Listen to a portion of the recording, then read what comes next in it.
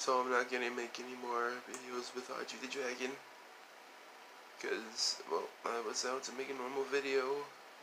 And this morning I found Audrey chewed.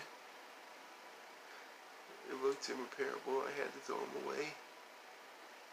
But don't worry, I I might get a new Audrey sometime soon.